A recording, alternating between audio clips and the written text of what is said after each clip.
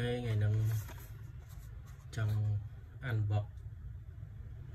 កុងទ័រកង់មួយឈ្មោះថា Site Plus M1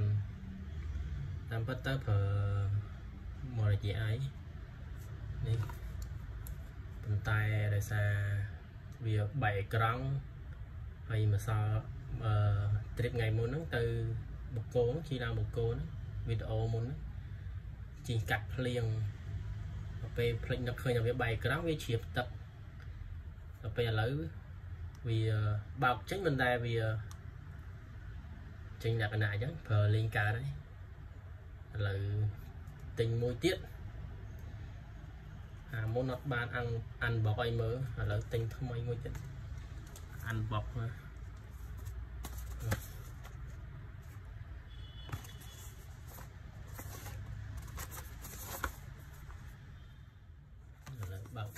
កមើលទាំងអស់គ្នានេះទៀតវាសភៅណៃនាំអស់ហើយចឹងវាមានកុងទ័រមួយជើងចាប់កុងទ័រមួយនៅលើដៃកង់ខ្សែហើយខ្សែសាក់ USB អូខេនេះកុងទ័រលើបើកឲ្យមើលចង់បើកវាចុចអាខាងឆ្វេងនេះឲ្យជាប់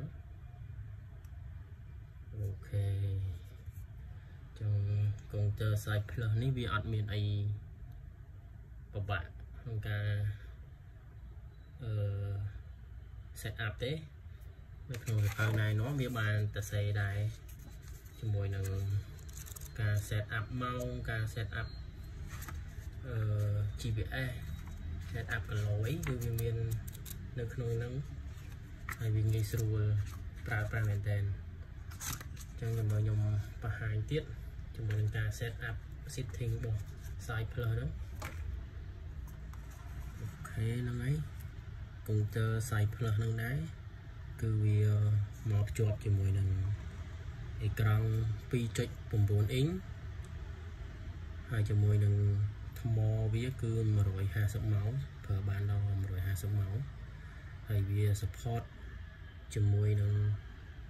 speed sensor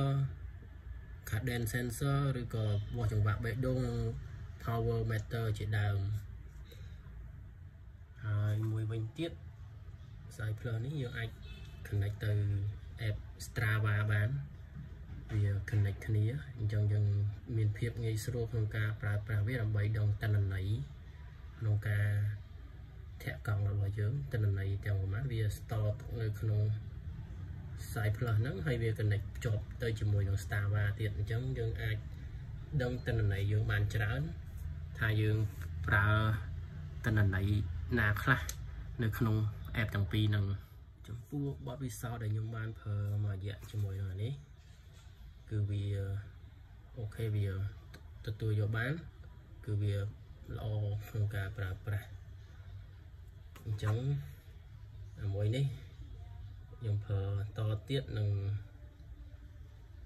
ប្រាប់ពីគុណសម្បត្តិវាតទៀតនៅថ្ងៃមុខព្រោះខ្ញុំប្រើនេះបានតែមួយរយៈខ្លីទេឥឡូវខ្ញុំប្រើវាតមួយទៀតដោយសារមួយនេះខូច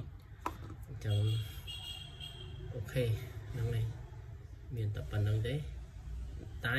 ចំពោះតម្លៃលើទីផ្សាររបស់ Cyplus នៅលើស្រុកខ្មែរយើងវាខ្ទង់